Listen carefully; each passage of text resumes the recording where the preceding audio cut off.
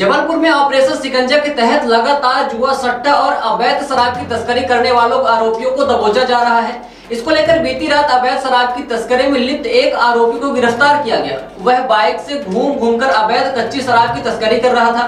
Panagar police को मुखबिर से सूचना मिली थी, जिसके बाद पुलिस ने आरोपी को रंगे हाथ 60 लीटर कच्ची शराब के साथ दबोच लिया।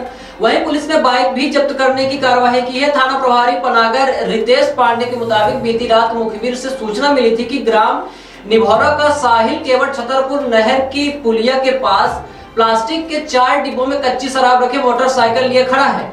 सूचना पर मुखबिर के बताए स्थान पर दबिश दी गई, जहाँ आरोपी के पास से चार डिब्बे रखे मोटरसाइकिल लिए खड़ा दिखाई दिया। पुलिस को देखकर आरोपी भागने का प्रयास करने लगा, जिसे घेराबंदी कर पकड़ लिया गया। आरोपी का नाम पूछने पर अपना नाम साहिल केवट, उम्र 19 वर्षीय निवासी निभौरा बताया गया। वहीं डिब्बे की तलाशी ली गई। चारों प्लास्टिक के डिब्बे में 60 लीटर कच्ची शराब भरी हुई थी, जिसे आरोपी बाइक एम पी बीस एम एच चौदह अंठानवे से बेचने की फिराक में था। वही पुलिस ने कच्ची शराब सहित बाइक को जब्त करते हुए आरोपी के विरुद्ध धारा चौतीस दो आबकारी एक्ट के तहत कार्रवाई की है।